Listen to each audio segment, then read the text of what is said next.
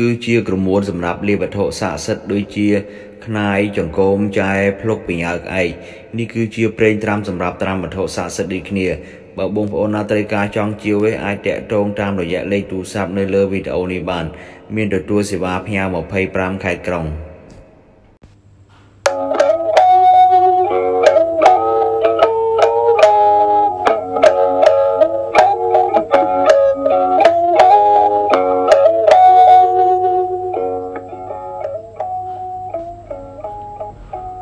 បាទសូមគោរពជំរាបសួរពុកម៉ែបងប្អូនទាំងអស់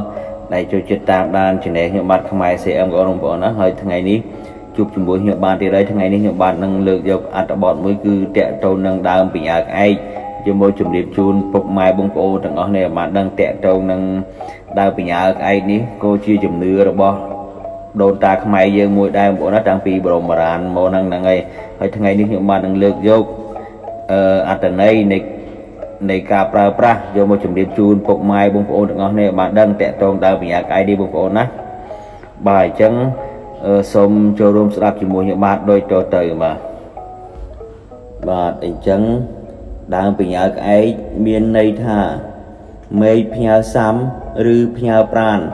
ដែលកើតចេញអំពីមេឃឈើទាំងពួងដែលមានស្លឹកស្រួយ និងសន្តានផ្សេងអំពីស្លឹកឈើនោះ ឬបើនិយាយឲ្យងាយយល់ទៅដើមបញ្ញាក្អែកគឺប្រៀបដូចជាកណ្ដាញសក់របស់មនុស្សយើងអញ្ចឹងដែរបងប្អូនណាគឺប្រៀបដូចជាកណ្ដាញសក់របស់មនុស្សយើងអញ្ចឹងដែរហើយវាមិនមែនកើតចេញនៅគ្រប់ទីកន្លែងនោះឡើយគឺជាវត្ថុមួយដ៏កម្រផងដែរហើយខាងមុនអាគមគេថាវិញនោះគឺថាបពៈបរោះខ្មែរយើងតែងតែដំណើរថាបញ្ញាក្អែកជាខាងដើមស្រេចឋាននៅខាងចុងមានន័យថា បញ្ញាក្អែកគឺជាវត្ថុស័ក្តិសិទ្ធិហើយស្រ័យឋានជាមុនមកក្រាបបងប្អូនណាជាមុនមកក្រាបហើយដើមបញ្ញាក្អែកមិនមែនមានតែមួយប្រភេទនោះទេណាបងប្អូនវាមានច្រើនរហូតដល់រាប់រយរាប់ពាន់ឯណោះហើយគ្រប់ដើមបញ្ញាក្អែកមានតួនាទីនិងមុខងារនឹងខុសៗគ្នាបាទមានតួនាទីហើយនិងមុខងារនឹងខុសៗគ្នាហើយខ្លះនឹងលោកប្រើខាងមុនមកក្រាបហើយផ្លូវងងឹតហើយខ្លះទៀតនឹងក៏ប្រើសម្រាប់ជាឱសថ ហើយខ្លះទៀតនឹងក៏ប្រើសម្រាប់ខាងសឹកសង្គ្រាមផងដែរហើយដូច្នេះហើយខ្ញុំសូមលើកយកតែប្រភេទបញ្ញាក្អែកខ្លាំងខ្លាំងដែលខ្មែរយើងពីបុរាណហ្នឹងលោកប្រើឲ្យទុកជាដំណរជារៀងហោហែមកផងដែរហើយបញ្ញាក្អែកទាំងនោះមានដើមបញ្ញាក្អែក7មុខដែលខ្លាំងខ្លាំងហើយលោកបានដាក់ឈ្មោះឲ្យវាថាជាពិជ័យសង្គ្រាមផងដែរ ហើយដើមបញ្ញាក្អែកទាំង7មុខនឹងមានដូចជា ទី1នឹងបញ្ញាក្អែកដើមឫស្សីទី2បញ្ញាក្អែកដើមអង្ក្រង ទី3បញ្ញាក្អែកដើមអំពិលជូរទី4បញ្ញាក្អែកដើមកន្ទួតព្រៃទី5បញ្ញាក្អែកដើមស្ដៅទី6បញ្ញាក្អែកដើមស្នោនិងទី7គឺបញ្ញាក្អែកដើមកន្ទ្រាំងខេតបងប្អូនណាបាទហើយទាំង7មុខខាងលើនេះ អាចប្រើបានទៅដល់100គុណឯណោះហើយប្រសិទ្ធភាពដែលប្រើចំឲ្យខ្លាំងបំផុតនោះគឺប្រើជាមួយនឹងសឹកសង្គ្រាមតែម្ដងបងប្អូនណាបញ្ញាក្អែកទាំង7មុខខាងលើនេះហើយសម្រាប់បងប្អូនដែលចូលចិត្តដើរព្រៃវិញនោះបាទគឺលោកឲ្យប្រើដើមបញ្ញាក្អែក3មុខដាក់រួមគ្នា បាទមានដូចជាដើមបញ្ញាក្អែកដើមក្រូចឆ្មាបញ្ញាក្អែកដើមក្រូចសើច និងបញ្ញាក្អែកដើមសង្កែបងប្អូនណាទាំង3មុខរួមគ្នានឹងខ្ចប់ជាមួយក្រណាត់ពណ៌សក៏បាន ឬពណ៌ក្រហមក៏បាន ប្រើសម្រាប់ការពារសត្វព្រៃអាសេរពឹសទាំងឡាយកុំឲ្យមកយាយីយើងបានហើយចំពោះបញ្ញាក្អែកផ្សេងផ្សេងទៀតគឺខាងរកស៊ីហ្នឹងរួមមានបញ្ញាក្អែកដើមមានបញ្ញាក្អែកដើមលៀប បញ្ញាក្អែកដើមស្វាយបញ្ញាក្អែកដើមទទឹមបញ្ញាក្អែកដើមក្រូចបញ្ញាក្អែកដើមចំប៉ាចំបៃបញ្ញាក្អែកដើមបន្លាស្អិតបញ្ញាក្អែកដើមអុយម៉ួយបញ្ញាក្អែកដើមក្លឹមច័ន្ទបញ្ញាក្អែកដើមសៃកាបញ្ញាក្អែកដើមអន្តណេនបញ្ញាក្អែកដើមកណ្ដុល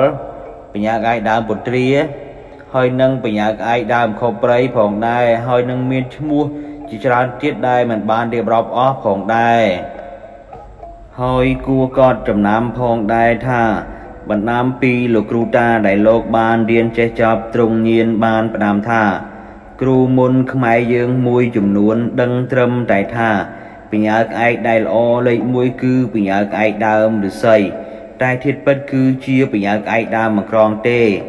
ហើយមានមួយទៀតដែលវិសេសវិសាលលើសរបស់ទាំងនោះទៀតគឺបញ្ញាក្អែកដើមកងោកមានអានុភាពខ្លាំងលើសចែកកាច់ទៅទៀតហើយបញ្ញាក្អែកមិនត្រឹមតែជារបស់ស័ក្តិសិទ្ធិប៉ុណ្ណោះទេ ហើយថែមទាំងមានលក្ខណៈពិសេសខុសអំពីវត្ថុស័ក្តិសិទ្ធិនានាព្រោះថាដើរបញ្ញាក្អែកតាមក្បួនមន្តអាគមនិងស្ដេចឆ្នាំលោកថាគឺមិនបាច់មានជាប់ត្រណមឬត្រណោតអ្វីនោះទេ ចេះប្រើចេះដាក់គឺរួចជាការស្រេច ហើយសូមផ្ដាំជាចុងក្រោយទៅដល់បងប្អូនដែលចូលចិត្តថែរក្សាដើមបញ្ញាក្អែកនិងអ្នករៀនសិលវិជ្ជា គួរគប្បីមានក្រមសិលធម៌សុជីវធម៌ចេះគោរពចាស់ទុំមេដាបិតាគ្រូបាអាចារ្យមាមិញគោរពយើងច្បងជាដើមនឹងទៅមិនចេះស្រត់យ៉ាងណាមិញបើសិនជាបងប្អូនចង់យកដើមបញ្ញាក្អែកទៅកែច្នៃធ្វើជាក្របបច្ចៈ ឬឆ្លាក់ធ្វើជារូបសំណាកតំណាងសម្រាប់សក្ការៈបូជាសូមបងប្អូនឆ្លាក់ឲ្យបានត្រឹមត្រូវតាមក្បួនខ្នាតឧទាហរណ៍ថាដើមបញ្ញាក្អែកដើមមានអាចឆ្លាក់ចេញជាព្រះអង្គសីវលីព្រះនាំលៀបនាំសំណាងផងដែរបាទសូមអរគុណដល់ពុកម៉ែបងប្អូនទាំងអស់ដែលបានស្ដាប់អត្តន័យនៃដើមបញ្ញាក្អែកហើយក៏ដូចជាការប្រើប្រាស់ផងដែរបងប្អូនណាតកតងដើមបញ្ញាក្អែកនេះ គូវាជាជំនឿខ្មែរយើងមួយដែរតកតងនឹងដើមបញ្ញាក្អែកនេះតាំងមានតាំងពីបរមបុរាណមកហើយគូវាបានចងក្រងហើយនឹងមានជំនឿតម្ដងសប្តាហ៍នេះបងប្អូនណាហ្នឹងហើយហើយហ្នឹងហើយចឹងមានតែប៉ុណ្្នឹងទេបងប្អូនណាហើយ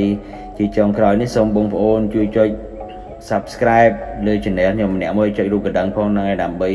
ទទួលបានវីដេអូថ្មីថ្មីទៀតបងប្អូនណាហ្នឹងហើយសូមចូលរួម អភិរក្សនិងគោរពជំនឿដូនតាខ្មែរយើងទាំងអស់គ្នាបងប្អូនណាបើមិនជឿកុំប្រមាថហ្នឹងហើយចឹងមានតែប៉ុណ្្នឹងទេបងប្អូនណាសូមគោរពលាប៉ុណ្្នឹងចុះហ្នឹងហើយជួបខ្ញុំនៅវីដេអូក្រោយៗទៀតបាទសូមអរគុណសូមគោរពលាសូមអរគុណចំពោះការទស្សនាវីដេអូសូមជួយចុច Subscribe និងរូបកណ្ដឹងដើម្បីទទួលបាននៅវីដេអូថ្មីថ្មី